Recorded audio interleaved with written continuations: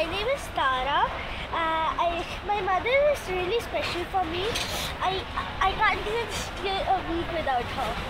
I really love her a lot. I have planned something really special.